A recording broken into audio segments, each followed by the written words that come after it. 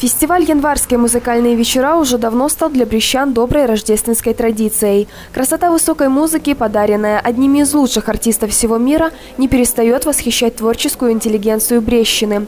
26-й фестиваль, по мнению его основателя и неизменного директора Лилии Батаревой, да и самих зрителей, прошел на блистательном уровне. Четыре вечера классики, оперы, джаза и романсов, исполненных артистами из 10 стран мира, оправдали все ожидания слушателей. Не хочу хвастаться, нравится, но всем очень нравится.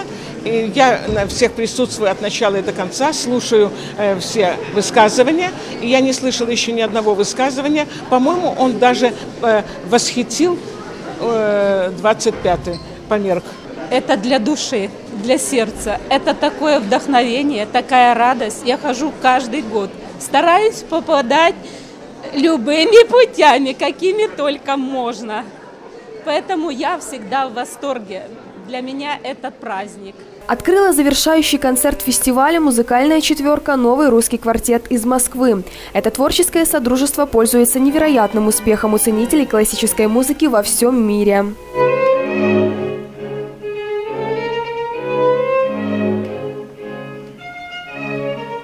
На 26-м фестивале наш земляк, знаменитый пианист Юрий Блинов совместно с Брестским симфоническим оркестром порадовал любителей фортепиано и музыки блестящим исполнением классического произведения.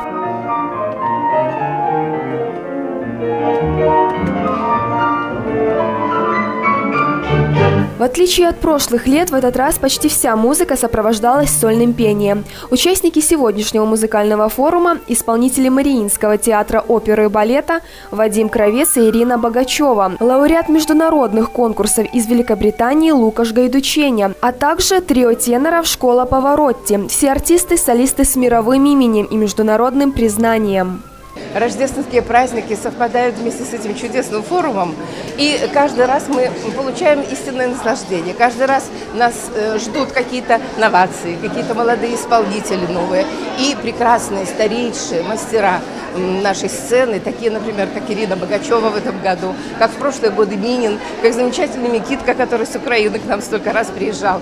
Так что это всегда замечательное явление, и поэтому мы рады присутствовать на всех концертах и получать истинное наслаждение.